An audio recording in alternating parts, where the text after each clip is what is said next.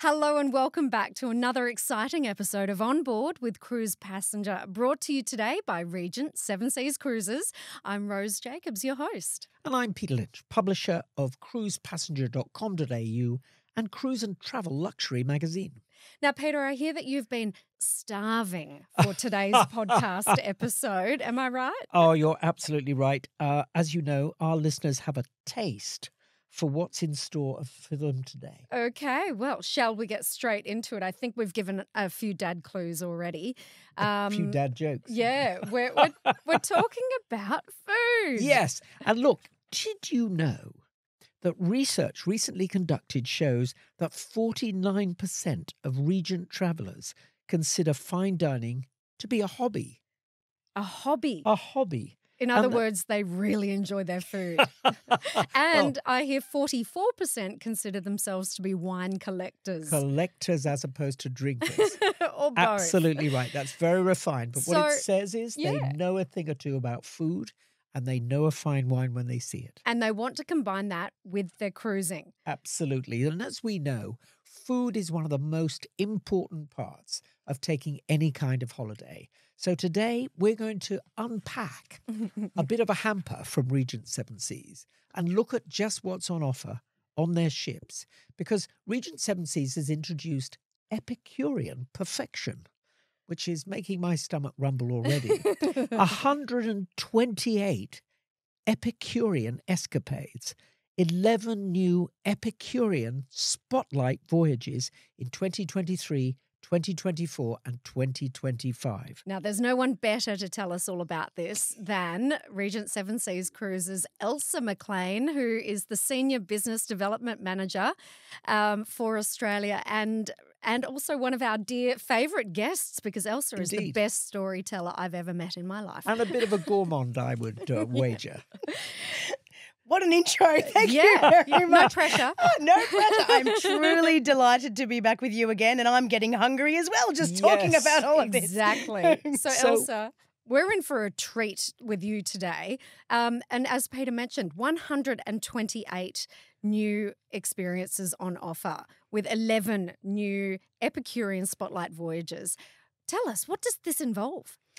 I think it's really important to understand what drives our clientele you know, what is it that they're looking for on a vacation? What is going to make them come back time and time again and tell all their friends about it? And from those statistics that you mentioned, Peter, people really love their food and wine. So we have always served incredible cuisine on Regent, mm. but we thought it was about time that we reminded everyone of that. So, yes, our new brand pillar, Epicurean Perfection, absolutely sets a new standard for us as well that yes. we must live up to. but it's it's really quite a pleasure. So we have curated some new itineraries with celebrities with sustainable winemakers, with uh, sommeliers, master chefs, to make sure that when people are coming onto our ship, not only are they going on a cruise, but they learn more about the region they're going through, and it is then complemented on board with some wonderful extra gourmand experiences. Fantastic. So tell us about some of the shoreside experiences where your guests will, will actually get to taste the culture of a local place. We've got such a range of shore excursions that are part of what we do with Epicurean Perfection.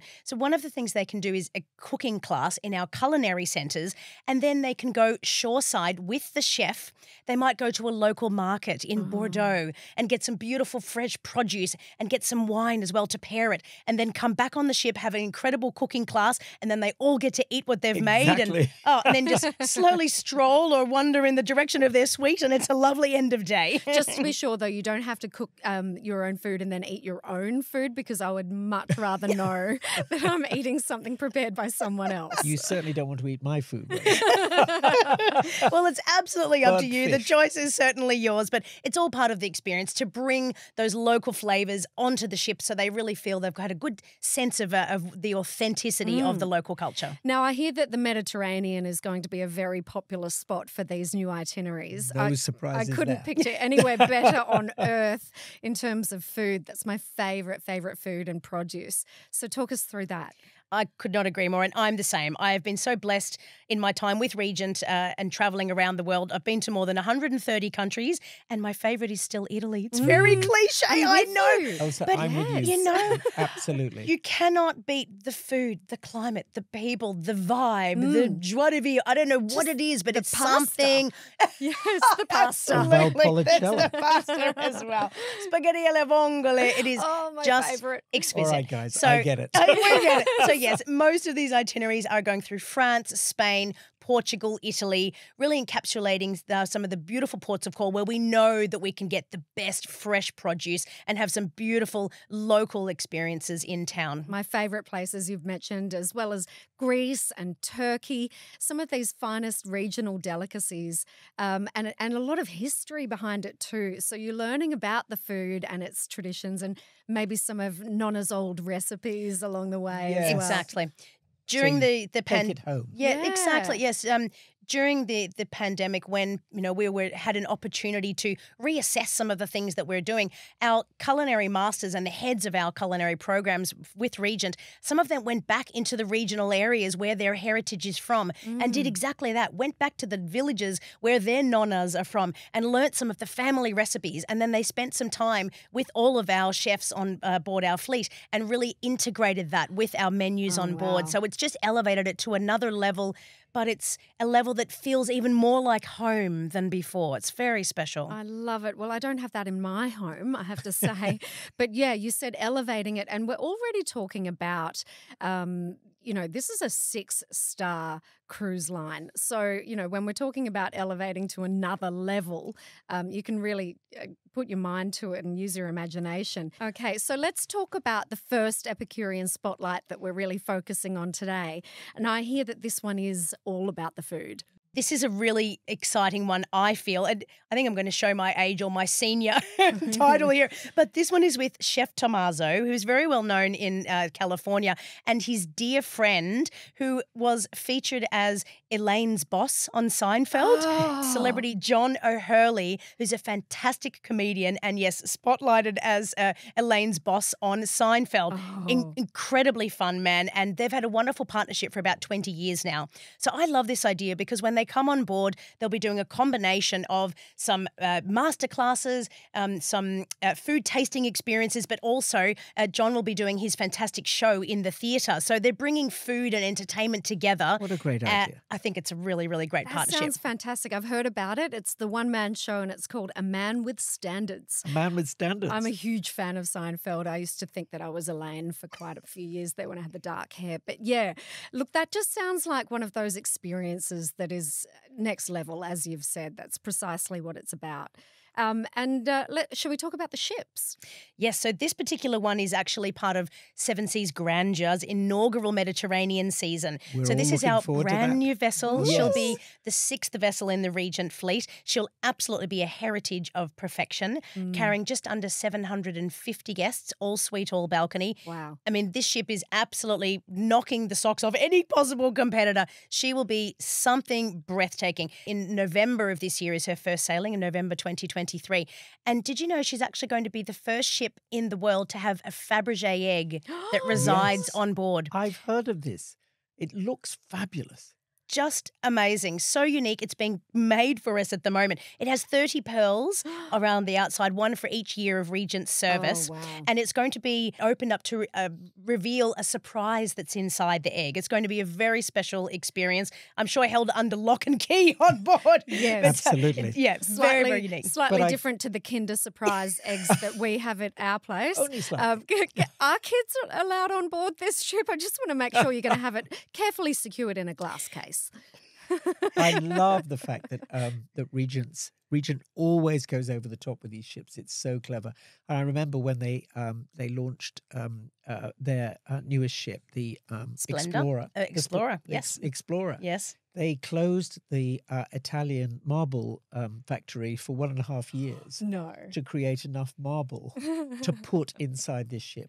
And I think there was a uh, glass blowing factory in um, the uh, Eastern Europe that spent a year producing the globes Whoa. on, on their light fittings. You've done your homework, Is that, Peter. is that where you. the phrase "lost your marbles" comes from?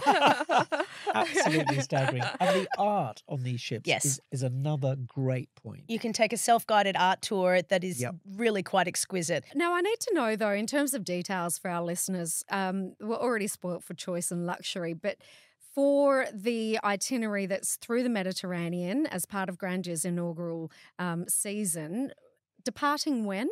The 14th of August of 2024 from Athens to Barcelona, a glorious 10-night sailing. Oh, that does sound amazing.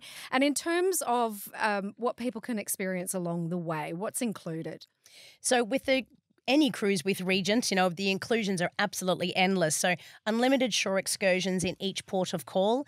Internet is included on the ship because we all love to ha- make people feel FOMO when Oh, they're back home and Yeah. post all of our pictures on social media. Exactly.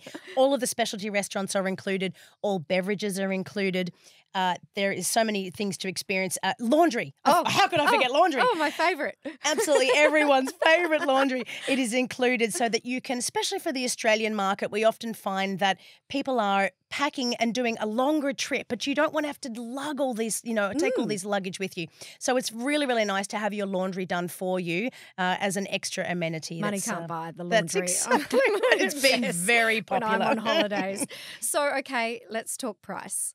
So the fares for this one for a veranda suite, it's an all veranda ship, Mm-hmm. start at twelve thousand two hundred and sixty Australian dollars, all included, no bill when you get off the ship Oh, at the end of the cruise. That's the bit we love. I love that. I love that. And, And and that's for this particular Epicurean Spotlight voyage. Correct. So let's not forget there's a lot of food involved in that. Oh, yeah. So um, we've talked about the food on the shore, absolutely fabulous. But what about the food on the ship? Mm. Just remind us of some of those great venues there are on board. Yes, and thank you, Peter. Well, we have up to seven dining venues on our ship. So it's really lovely. If you're doing a seven night cruise, you can go to a different one every night of the week. if you're on a longer sailing, people tend to find their favorite and like to go back there and, you know, try it again because, So of course, true, the menus are endless. But even in Compass Rose, which is our flagship dining mm. room, features on all of our vessels, open for breakfast, lunch, and dinner. You can have a different dining experience there every day because we absolutely take in uh, the chef's work, you know, with our local guides as well and our local um, experts, and make sure that we have a beautiful, authentic symbiosis with the local cuisine, so that when you're on the ship, you feel like this is what I might be eating in a restaurant shoreside as we're Yeah. passing through the Amalfi Coast or you know through the Greek islands. And and in terms of those shoreside locations, I believe there's Athens in Greece. Um, where are we going in Istanbul? Boskara? Boskata, yes. um, When we go to Boskata, so that people can out to the get out to the site of Troy. Oh, So that's very important historically for a lot of people. Those history buffs, they love that. absolutely. And then in uh, in Italy, we've got Taormina, Sorrento, Capri, Rome. Oh my gosh! And then off to France as well. We have the Provence and Barcelona in Spain. All the best spots there. A bit of Sicily for those. We have the most incredible shore excursion in Sicily that you can take from Naxos, uh, where clients can. It's called "In the Hidden Footsteps of the Godfather." Oh, So you actually go to, to- I know it's hilarious. You go to two different villages where they actually seen uh, filmed scenes from the movies, and you hear all about the history of it. There's photos of Al Pacino and all the crew there. I did it myself just last year when I was on the ship in the Med, and it was such an incredible sense of this is what it must have been like for them to film The Godfather back in the 70s. It was really, Yes. really a wonderful, wonderful shore excursion. And off the beaten path, I would never have known how to access those parts of Sicily mm. on my own, but it gave me an affinity and a sense of what that area is like and the local communities as well. It's quite beautiful. How divine. So, in that 10 night itinerary, how many included excursions are available for guests? Rose, we have 63 included shore excursions on that itinerary. 63. This is, you know, again, the choice with Regent that I just love. So even if they've been to Rome before, they can have a completely different experience. They might like to go out into the Tuscan countryside and have lunch with a family that had, perhaps has been pressing olive oil Oh, for that sounds generations. fantastic. please. really and, and do something that's off the beaten path again and is not just going into town uh, to see the Sistine Chapel, you know, which a lot of people have done. Mm. But for those who perhaps have not seen that yet, they could go and do a private viewing. So Oh. we absolutely have something that suits every need, every hobby, every desire. Can we uh, talk about something that's close to my heart? The wine. As a collector or consumer? Well, I think, I One think then the other. let's rip the cork out and talk as a consumer. Because I think you actually do have some fine wines on board and indeed some great visits. Yes, we do. And we've actually you know, we take a lot of time to make sure that the wine that we feature in our dining venues, which of course is all inclusive, is something that suits the palate of all our very international guests. So we've done that as well with our spotlight voyages. So one of the voyages we're going to be featuring is with Zinfandel winemakers, Mm, okay. which are a very popular brand of wine. Are you familiar with them, Peter? I'm, I'm sure you've tried them. You're not. I oh, wish I know was. You them, yes. absolutely must try. Them. I'm going to go right them. out and buy Yes, some. you definitely- Trust me, you're a fan. they're they're very well known, perhaps more to the American clientele. Yes. Um, I'm certainly familiar with them, having spent time on Regent, and they have beautiful, beautiful red wines, and it's something that people will really enjoy, and it's going to enhance this particular itinerary, which is a 14 night uh, Japan to Tokyo round trip Oh. experience. So it's not um, an itinerary where the wine will be featured in the ports of call, but it's something lovely that gives them the best of both worlds. While they're Yep. off the ship, Rose, I'm sure I know what you're going to say here. What you, you can have off the ship, you have your sake, and when you get back on board, you'll have your red drop of Zinfandel, I think. Sounds divine. And now that one that you've just mentioned from Tokyo to Tokyo, 14 nights. Um, that's on board Seven Seas Explorer, departing 31st of March in 2025, and 44 excursions included. that just 44. sounds What's- only what's- 44. what's happening? Oh, Elsa, you've dropped your bundle. It does include a land program as well, which I think is Excellent. a lovely extra immersion for clients. So they can do it before or after the cruise because it begins and ends in Tokyo. So they have a three night stay at the Hilton. And then during the day, we take them on some lovely local sightseeing, getting the best of the, the Ginza, the busy area, getting the full feel of the pace of Tokyo, but then also out to the, the shrines and the gardens. So they get some lovely, you know, cultural, genteel sense of the, uh, Japanese culture. And then uh, they have plenty of spare time as well. So we make sure that it's not too rush, rush, or too pressured. What I love about it is they're doing it either before the cruise, so they're meeting some of the people who are going to be their new friends, Yeah. or they're doing it at the end of their voyage, and so they'll be with friends they've already made from the ship. So it's a really lovely, uh, you know, beginning or ending, a bookend to the cruise, and they'll be, of course, with Regent experts who will take care of them all the step of the way, and at no extra cost to them. I- I've got to say, I I love the sound of you know matching the Japanese cuisine with wine because apparently dumplings or dim sum and wine tastings are a huge deal, and Aussies don't really know about that so much yet. They won't, but they will after this cruise. I Yes. think.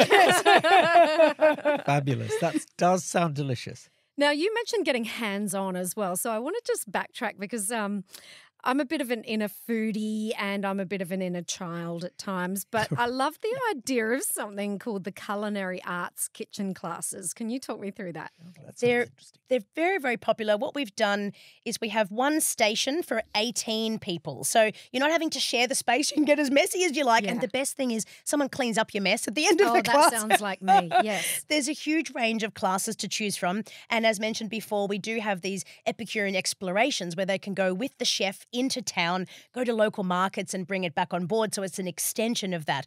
Or on a sea day, they can just take part in one of these beautiful culinary kitchens. So they might, uh, for example, choose to a paella making class. So they can Mm. go home and, you know, spoil all their friends and show off what they've learned in the class, Yeah. which is just so much fun. That doesn't sound messy at all. No, it doesn't sound messy at all. Prawns and sausage flying everywhere. Here we go. Okay, but you, know, you do take kids on board, Regent, and so um, apparently there's something called the Master Chef Junior. It's I am so excited about this program. It's going to be in Alaska for the first time on Regent in 2023 and it's going to be on Seven Seas Explorer in the Culinary Center. And so yes, we do get some children coming on board in the Alaskan summer school uh, months, school holidays for the US. And uh, so it's absolutely lovely. The children get to be in charge Uh oh. uh oh. and their sous chef will be grandma or grandpa or the parents. And so it's a lovely opportunity for them to have a, a you know a learning experience as well, but make it really fun where they get to boss us around. I and love it. someone cleans up afterwards. That's Yes, exactly right. The just- most just important, All important detail. Oh, Look, these Epicurean spotlight voyages are sounding more and more fun by they the sound second. very tasty. especially with the uh, the passionate winemakers and chefs and entertainers. Uh, there's not much you could really do to top any of that. Um, now, I, I wanted to know just a few details about the Tokyo trip. So, perhaps where are we stopping in at the ports? Okay, yes. So the fabulous thing about this round trip Tokyo itinerary, Rose, is that it does take in a lot of beautiful ports of call, including Nagoya, Kyoto. Now, in Kyoto, we always give our guests an overnight stay there. Oh, cool. Because I think to be able to get up into the old villages of Kyoto and perhaps have a glimpse of the geisha or their training Maiko with their indoor shoes going through the cobblestone streets at night with the lanterns hanging through the villages there and that sense of mystery that surrounds them and their beautiful makeup. It really is something just beautiful. And of an evening, it has a different feel than it does during the day. Mm. As much as possible, we try on any Regent itinerary to give clients a longer stay in port. It is not in our best interest to limit that time. We're not Mm. trying to get them back on the ship. We want them to come back feeling they've really gotten the best out of each destination, which, Really as far as we're concerned, is a full day stay and an overnight where possible. Yes. I love it. She's doing the storytelling thing again, Peter. I love it too. Oh, she's so good. So after Kyoto, we have a lovely overnight stay there, and then we go into Kochi, and then Beppu, and then Seoul. So it actually goes to South Korea as well, and then an overnight in Shanghai, so they can experience the nightlife there as well. Then back to Kagoshima, and then back to beautiful Tokyo. Oh, wow. So you get China and you get uh, South Korea. Absolutely, yes. We do have some itineraries in Japan that are purely, uh, you know, an in-depth dive into the Japan uh, ports, but it's uh, some of them have a bit of South Korea as well as China, like this one does, which is lovely. and you've got some optional additional um, three night post cruise options there for guests. Yes, so as mentioned, we have the included three night land program where we have our clients staying at the Hilton, but we also have several, uh, which is an Edo experience. So again, Mm. they can, if they've perhaps been to Tokyo before and they want to have more of a of a cultural immersion, then we can take them out to some of the onsens, have that spa Oh. experience. If people are doing a bit of a, a wellness cruise, you know, we see this Mm. at the moment. Um, ladies going away in a group to celebrate a 50th birthday, for example. And we Mm. have itineraries where there's no single supplement. So they don't have to pay for the extra person that's not there. They can have their own suite to themselves and really go away and do our beautiful fitness classes as well as um, to spa treatments. Treat themselves well on board and then shoreside go and have some lovely experiences like this. So it becomes a well rounded wellness getaway. It Sounds sounds fantastic. absolutely blissful. No, Peter, you're not invited.